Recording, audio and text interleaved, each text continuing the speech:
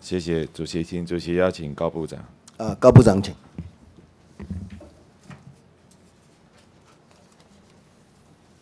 张委员早。呃，部长好。呃，你应该不是第一次被询了啊，因为之前也担任过副部长。是的。那当然了，担任部长以来是第第第一次的被询啊。然后请教一下部长啊，我想这个支笔支持哈，呃，对岸啊现在的国防军费大概是多少？二零一五的，你们有没有掌握？二零一五今年中共的我们国防预算，我们每年你讲是预算还是兵力？预算，预算我们在报上也看到了一些他的预算的。不要讲报上了，你们掌握的嘛，你们要情报局啊，对不对？如果情报局只是收集报纸，那也没有需要。我们我们我们有互相比对。到底多少啊？能不能讲一下？你们的估算，根据你们的情报估算。多少？四点五兆。四点五兆。四点五兆台币。台币。是不是？那美金差不多多少？大概不止四点五兆。啊。八千八百六十八亿的人民币折换出来，当然是四点五兆台币啦。但是这个这个数字是报纸上写的啊。我要讲的是你们情报的收集嘛，绝对不止啦。算一算，国外的估算都是这个的两三倍，所以三千到四千亿美金跑不掉。委员，那个是他隐藏性的一些。当然啊，你一定要算隐藏性的啊。是。啊，因为他跟我们不一样嘛，体制不一样嘛。是。啊，那这样算出来，你就知道说他的军力是多么的可怕啊！连美国都是非常担心的事情。但是这两年我们的国军，呃，不止这两年了，一百年以后我们进行了金催案，这对不对？去年底完成嘛。是。精粹到多少？到二十一万五千人，二十一万五千人，然后现在还要再进行永固案，永固案已经在进行了嘛？没有在规划，在规划，还没开始嘛？是。那部长，你上任之后，你觉得对比对岸的军力，还有我们现在的兵力，还有现在在进行的募兵制的进度，你觉得该怎么做？你觉得永固案还要进行吗？我们今天我看到说报上说还有三万个缺口。募兵有三万个缺口嘛？啊，那在营留营的意愿好像也偏低。呃，跟我然后待遇上有一些现在募进来的，他好像也考虑到不同兵科的待遇，似乎有一些兵科啊比例非非常低啊，被选上的比例啊，比如二十趴、三十趴啊，有一些比较艰苦的，所以很多都是选那个什么勤务班的啦。勤务勤务工勤务科的，勤务资源，呃，勤务资源科啊，那个六七十百分之六七十都选那一个科别，那这样你要怎么样去平衡呢？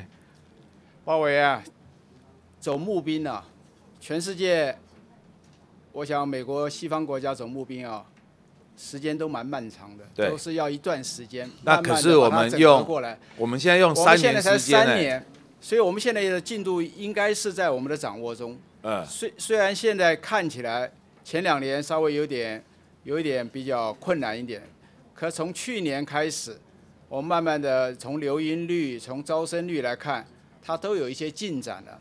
那再加上大院跟行政院的各种的啊资助我们，我相信今年这个成果应该不会比去年。所以全募兵的时刻，在你的任内会完成，是不是？呃，这个目标是我们希望达到这个目标。哪哪时候是做目标？何年何月？全募兵。一百零五年。一百零五年就是。当然，这里面有很多，就是今年。今年十二月三十一号以前。啊。今年十二月。十二月三十一号以前就完成。不，明年开始就希望能够达到募兵的我们的一个基本的战力的，就国国家的战力的需求，我们先要把它达到。那你确定达得到吗？我们我们正在做这个努力。部长，你刚刚讲了一句话，嗯，其他国家做募兵都是一段长时间的转换跟改变，对不对？他可能是 learning by doing，对，边做边改，边做边学。那我们要去把这个 mission impossible 的东西啊，好像短时间就要去把它做调整跟改造，我怕你的体质会受不了。我们我们也有一段时间了。你刚刚讲三年嘛？不是三年，他当年就是四年，后来我们又稍微延长了一点。对，可是还是很快了。其实你现在有一些兵源啊，那些 UV 都还消化不了，然后接下来募兵制又衔接不上啊，然后留影的比例也不高啦。我不能讲说多低，可是我觉得不高。哦，我们所听到的都不高啊。然后待遇的问题，待遇的问题，有一些比较艰困的或者比较辛苦的单位，你们待遇加级有调整吗？你要用什么样子的福利去吸引这一些我们去招募的自？愿役的加级，行政院就调升了，地域加级也调升了。今年我们做的是战斗部队的加级跟留营未租金，其实这些嗯那部分要面向加多少都是为了志愿兵。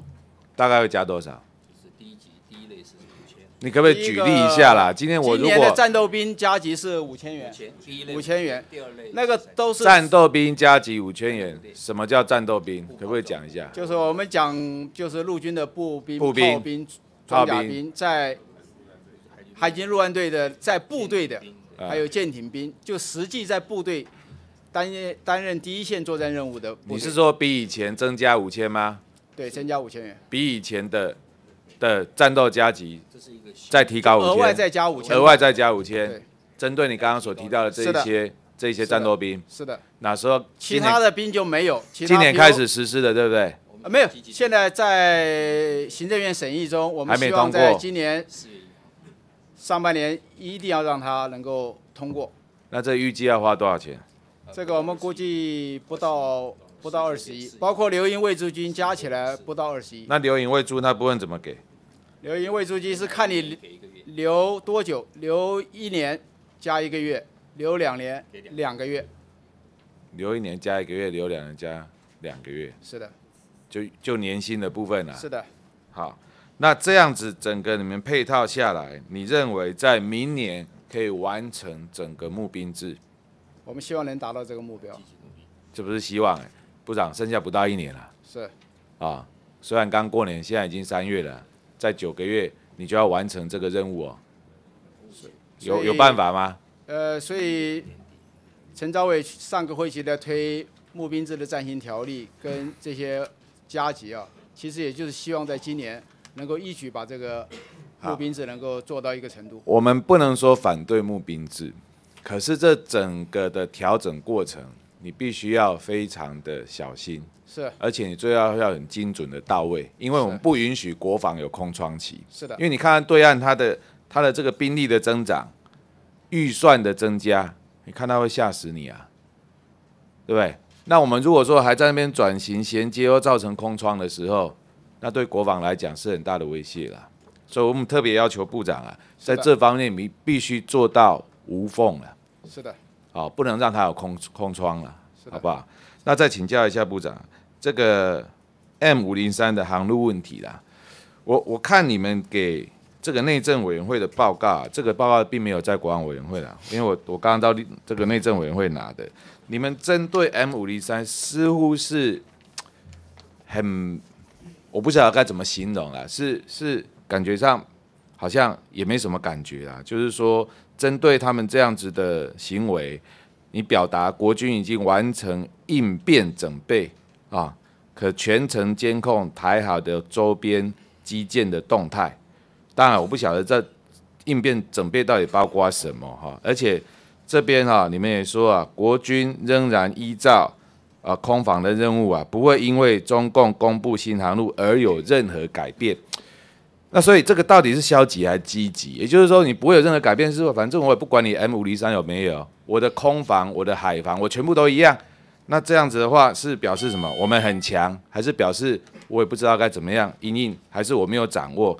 那而且你们还提到说啊，未来啊将在这个国家安全前提下，配合交通部制定完善的监控管理机制。所以 M 五零三这件事情，在整个政府的决策、还有检讨、还有未来的规划，到底是交通部在主导，还是国防部也是主导之一，还是说有更高层的国安单位在指导你们？部长，你可不可以说明一下？我我跟委员再跟您报告一下啊，不是国防部他这个航线开完以后，对我们的战远性的所有的区域，我们是不会改变的。对。我们为什么会这样讲？我刚刚可是你的防你的防卫啊，跟所谓的战备准备措施不会不会调整？我我再跟您报告一下，我刚刚讲过两国论以后，他的战机出海了。对。这么多年来，海峡中线以西，共机是有在那边活动的。嗯。我们空军一直在掌握住它，也能够。有效的应处，这么多年来我们都可以做到。所以换句话说，现在一个民航机进来，我相信我们还是可以监控住它。好，那我问你，那中共的民航机进行情报侦收工作有没有可能？可不可以？呃，如果他在波音的飞机上面装设的雷达或者照相，可不可以报告，这可能就违反了国际航空法。那可不可以偷偷做？呃，国际航空法谁去检查他？你没有办法检查他嘛？他是共产国家，对不对？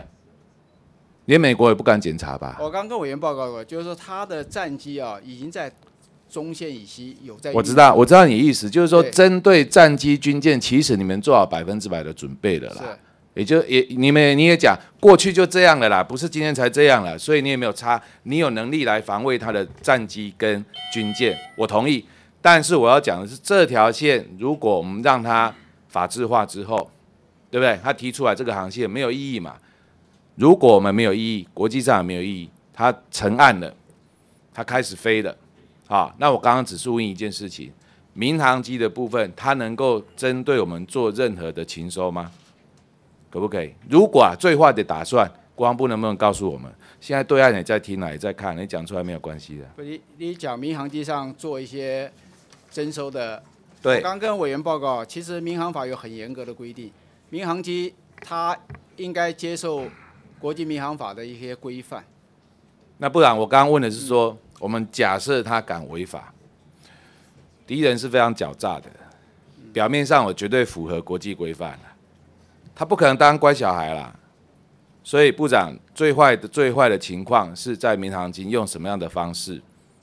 来进行相关的侦查工作，因为他已经去中线六海里了。对，呃呃，偏西六海里，其实距中线十点二海里了。其实距离距他的岸也不过才二十几海里，所以如果他在岸边，他也可以做征收的活动。只是他现在是，如果照委员讲的，嗯，他用民航机来做，我们这边平常在做训练，在做一些伪装，我们都有一定的程序。所以你们可以发现他有没有用民航机在做侦查吗？有没有办法发现？还是说这样这种发现要透过敌后的情报工作？这个一般来讲，我们没有，现在没有办法到他的民航机上去做一些了解。我相信这个国国际的规范应该会规范的很严的。好，我还是提醒国防部了，在这些事情上面，或许可以态度上更积极一点。是的。好吧，是的，谢谢。好，谢谢姜伟。啊，我们现在请肖美琴委。